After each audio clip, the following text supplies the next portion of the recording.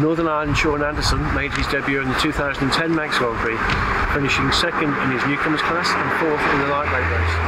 Shaun has subsequently gone on to establish himself as a top 20 seeded TT rider, lapping the course at over 130 miles an hour and finishing a fine eighth in this year's senior TT.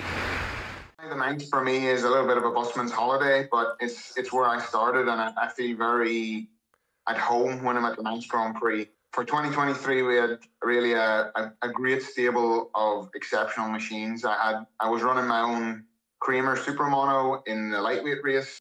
Uh, Andy Wilson's Rotary Norton. So to ride a rotary, uh, I think I'm one of probably a half dozen. I was very, very fortunate to have uh, Peter Boyger come on board. Him and, and his wife Barbara, they run a, a big Paton 500 for the, the senior classics. Overall, the event ran really well. In the lightweight, we had a very good finish at fourth. We were very close to the super mono lap record, which is held by Jim Moody. In the in the senior 500, again, we finished fourth. When I came out of the Creg, the bike started to splutter. So I, I have a little bit of a, an axe to bear on that race, and uh, hopefully we can change that for, for 2024. In the, the Superbike race, the, the Norton ran like a charm, and we finished up ninth. It was really great to get a finish for the Wiz Norton guys. I think it into 2024 because we're back with the, the 500 Paton and also with uh, Andy Wilson's Wiz Norton. We might see the podium if, if luck's on our side this year for the, the Classic.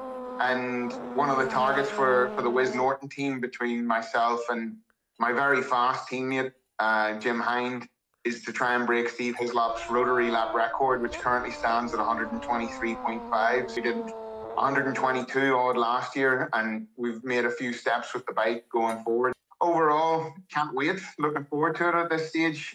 Thank you, Shaun, for sharing that with us. We're looking forward to seeing you here on the island for the 2024 Manx Grand Prix. If you'd like to get involved, don't forget you can sign on to Marshall. Just visit www.iomttmarshalls.com